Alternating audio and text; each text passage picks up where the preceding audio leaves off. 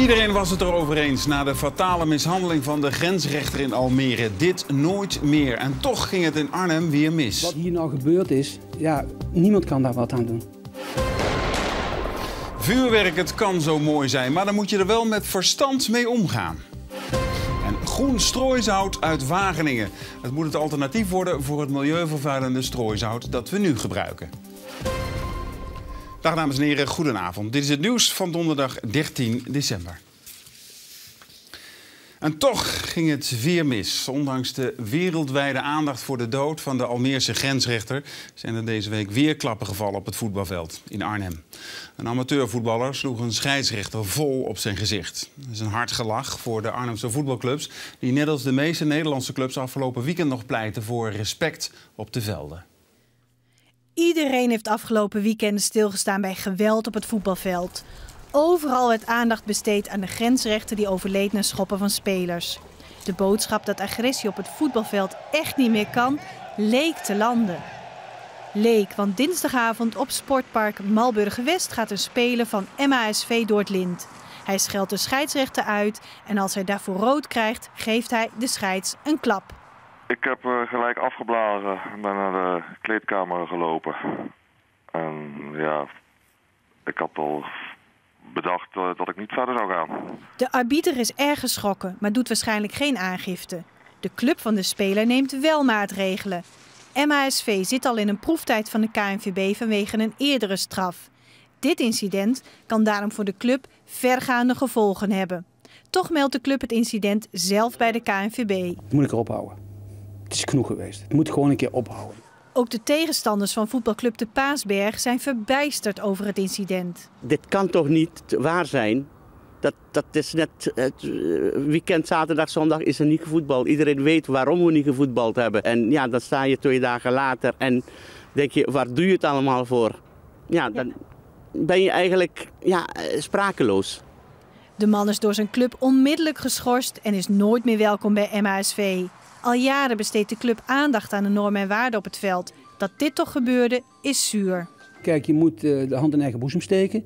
Maar je moet je er zelf geen trauma over aankletsen. Want kijk, wat hier nou gebeurd is, ja, niemand kan daar wat aan doen. Kijk, dit is in 20, 30 seconden gebeurd. En uh, ja, voor de rest was er niets aan de hand, maar het is gebeurd. En ja, zeg maar wat je er tegenaan moet doen. Ik zou het niet weten. De KNVB onderzoekt het incident en bepaalt daarna wat de gevolgen zijn voor de speler en de club. Vuurwerk, het kan heel mooi zijn, maar als je er onzorgvuldig mee omgaat, dan kan het ook grote gevolgen hebben. Reden dat er her en der cursussen worden gegeven over hoe je met vuurwerk om moet gaan. Allemaal om te voorkomen dat er drama's gebeuren zoals we die het afgelopen jaar hebben gezien. Zo kwam een 13-jarige jongen op 1 januari 2011 in Harderwijk om het leven toen hij toekeek hoe een illegale vuurwerkbom op een camping werd afgestoken. En onlangs raakte in Opheusden een 39-jarige man zijn beide onderarmen kwijt toen hij op de zolder van zijn woning met vuurwerk aan het experimenteren was. Ja, en om kinderen niet deze fouten te laten maken, geeft het bureau HALT voorlichting op basisscholen. Vanmorgen waren ze op basisschool De Rank in Kerkwijk. Ik, ik, hoop dat je trouwens naar buiten gaat bij het afsteken. Ja? Ja. Peter van Zutphen geeft aan de lopende band voorlichting op scholen. Vele tientallen bijeenkomsten. Er zijn namelijk bij kinderen nog veel misverstanden over vuurwerk. Hoe het vuurwerk wordt afgestoken. Uh, uh, we zien wel dat, uh, dat kinderen, bijvoorbeeld een Romeinse kaars hadden we net even gezien, dat Romeinse kaars verkeerd wordt afgestoken en dat kinderen toch niet goed de gebruiksaanwijzing lezen. Je komt verder pas met bureau HALT in aanraking als het misgaat. En dan moet je ook nog eens 12 jaar of ouder zijn. Maar ook de kinderen van basisschool De Rank steken al vuurwerk af. Met een aansteeklont. En dan gooi ik hem heel snel weg. Een rotje bijvoorbeeld. Als je de ongelukken hoort, hoort dan, uh, ja, dan schrik je wel. Maar het is ook wel weer leuk om uh, ja, ja, met siervuurwerk om uh, gewoon, dat is zo mooi. Meestal rotjes en bloemetjes. Maar kinderen horen ook wel dat het mis kan gaan met vuurwerk. Vriend van mijn neef. En die was gewond? Ja, die had een oog uit. Daarom hoopt ook de juf dat voorlichting helpt. Kinderen maken, uh, worden wel bewust van hoe het eigenlijk hoort en ja, wat er ook mis kan gaan en wat de gevolgen daarvan zijn. De leerlingen die echt willen knallen, krijgen voorlichting over hoe dat veilig kan. En zeg nu zelf, vuurwerk afsteken is toch ook vooral leuk? Ook voor een voorlichter van HALT. Ik denk dat ik een paar mooie pijlen koop en eh, een paar mooie sier, uh, siervuurwerk.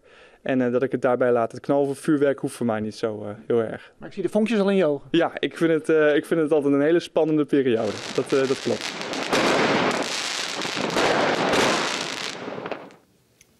Na 35 jaar is er een belangrijke tip binnengekomen over de nooit opgeloste moord op Bert Meidam in 1977.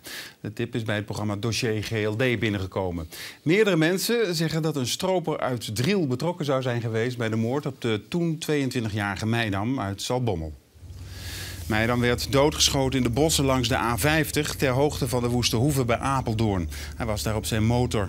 De politie denkt dat hij op het verkeerde moment op de verkeerde plek was. En zo zou hij mogelijk stropers op heterdaad hebben betrapt en dat met de dood hebben moeten bekopen.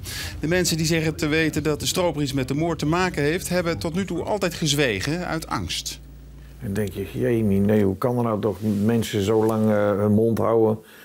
En dat ze dan eindelijk na zoveel jaren dan toch zeggen van ja, laten we dan toch maar wat gaan vertellen. Dat is voor de hele familie een opluchting. De stroper uit Driel stond bekend als agressief en velen waren bang voor hem. Hij is acht jaar geleden overleden. En na het nieuws meer over deze opmerkelijke zaak in dossier GLD. Huilend hoorden actievoerders van de Orca-coalitie aan dat Morgan terecht is verhuisd van Harderwijk naar Spanje. Ze waren naar de rechter gestapt omdat ze vonden dat die verhuizing nooit had mogen plaatsvinden. Maar de rechter is het niet met de actievoerders eens. Neemt u plaats. Het was een langdurig, slepend juridisch gevecht waaraan de rechter in Amsterdam vanmiddag met zijn uitspraak een einde maakte. De Orca-coalitie, een verbond van verschillende dierenwelzijnsorganisaties, sleepte toenmalig staatssecretaris Bleker voor de rechter omdat hij toestemming had verleend om morgen te verhuizen naar Loro Park op Tenerife.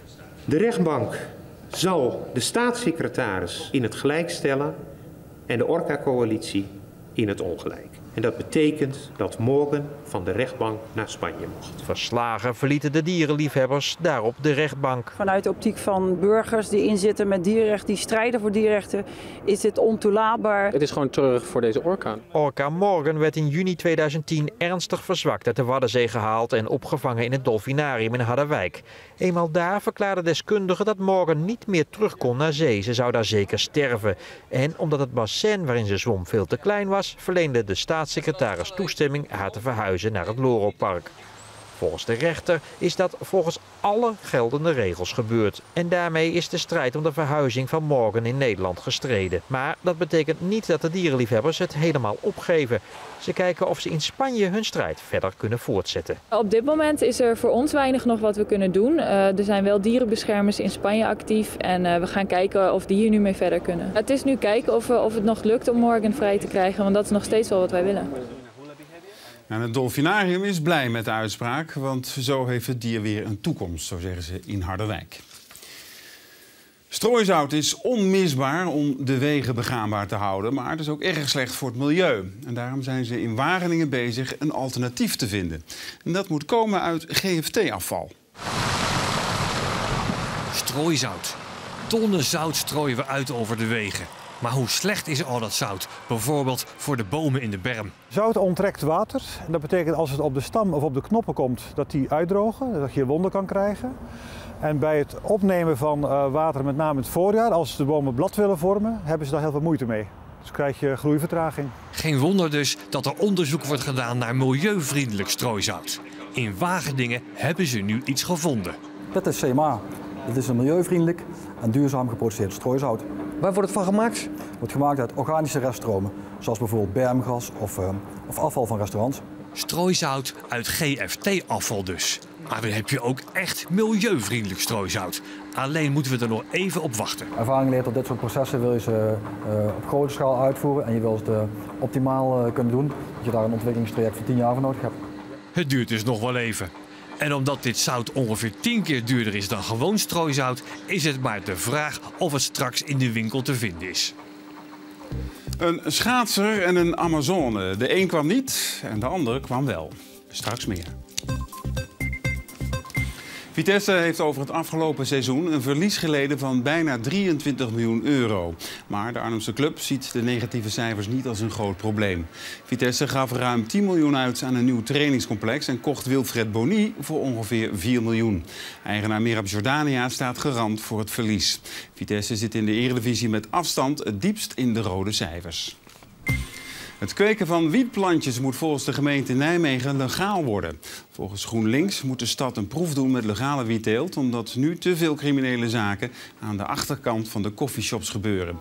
Burgemeester Bruls vindt het plan sympathiek... maar hij denkt niet dat Den Haag ermee zal instemmen. De chirurg die per ongeluk een testikel van een vijfjarig jongetje verwijderde, gaat vrij uit. Alle klachten die de ouders indienden zijn door het tuchtcollege in Zwolle ongegrond verklaard. De kleuter moest vorig jaar in het Arnhemse Rijnstatenziekenhuis onder het mes vanwege een mogelijke liesbreuk. De chirurg constateerde echter een bobbeltje en besloot dat weg te halen. Dat bleek later een testikel te zijn. De Gelderse wielrenners Robert Geesink, Theo Bos, Maarten Chalingi en Wilco Kelderman rijden komend seizoen voor het Blanco Pro Cycling Team, kortweg Blanco Pro. Dat is de nieuwe naam van de voormalige Rabobank ploeg. De Rabobank stopte als naamgever van de profploeg omdat het genoeg had van alle dopingverhalen. Twee jeugdleden van AGOVV zijn spontaan een actie begonnen om de club in moeilijke tijden te steunen. Ze gaan hun speelgoed verkopen. Um, om AGOV zeg maar um, te helpen voor al die geldproblemen en zo. De 11-jarige Steve en de 12-jarige Frans komen beide uit voor de D3 van de Apeldoornse club. Chemische fabriek Sachem in Zaltbommel gaat maatregelen nemen om de veiligheid te vergroten. Hierdoor is de bouw van een wijk in de nabijheid van de fabriek ook mogelijk. Vandaag tekent het bedrijf een akkoord met de provincie en de gemeente. De nationale ombudsman onderzoekt waarom bij twee recente politiecontroles preventief is gefouilleerd, terwijl er geen verdenking was. Het gaat om controles in oktober en november. In oktober werden voertuigen van de A2 bij Geldermals gehaald voor controle en eind november was er een controle op een camping in Kerkdriel.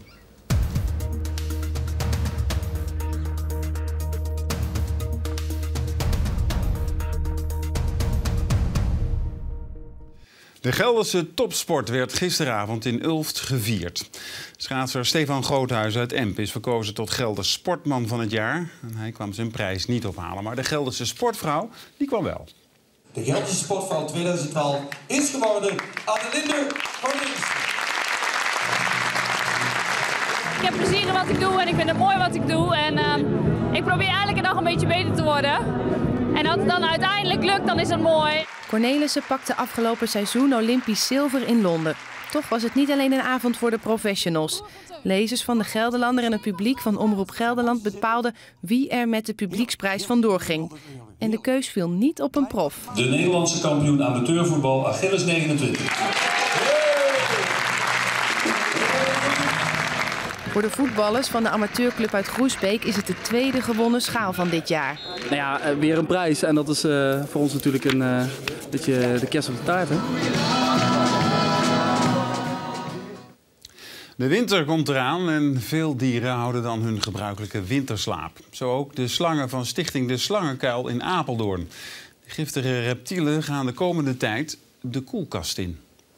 Je moet natuurlijk wel zorgen dat je niet gebeten wordt. Want de slangen van slangenopvangdeskundige Nelis Bar zijn uiterst giftig. Stuk voor stuk moeten de slangen uit een terrarium gehaald worden. Met alle risico's van dien. Als u gebeten wordt door deze slang zonder behandeling... dan is er een grote kans dat daar uh, blijf, blijvend letsel uh, van komt. Of dat u er zelfs aan overlijdt.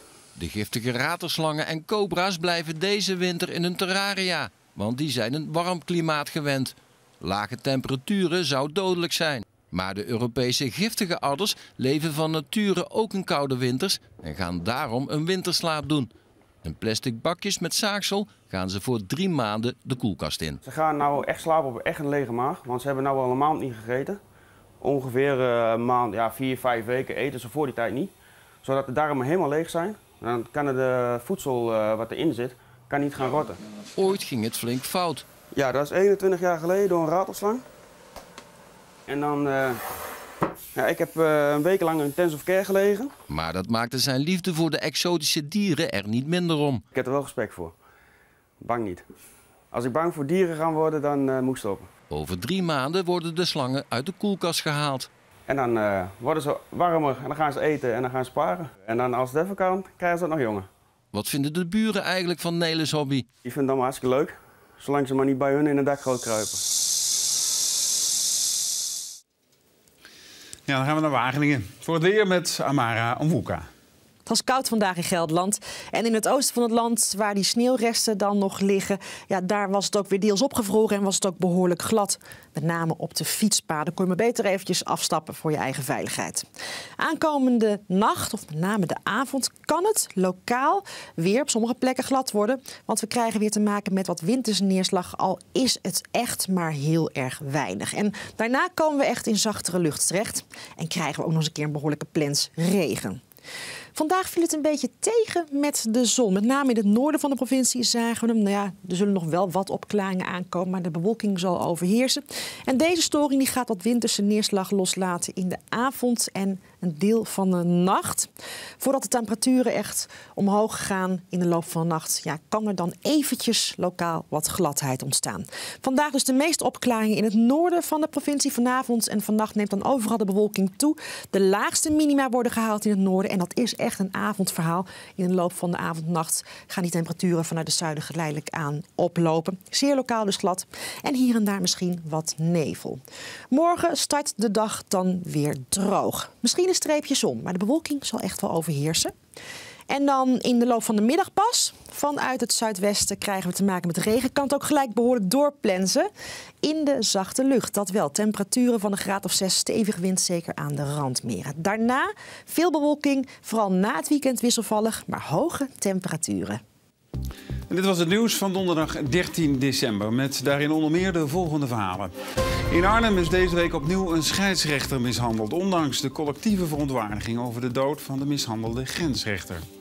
En strooizout is schadelijk voor het milieu, maar dat geldt niet voor het groene strooizout dat ze in Wageningen hebben ontwikkeld. Ik wens u nog een fijne avond.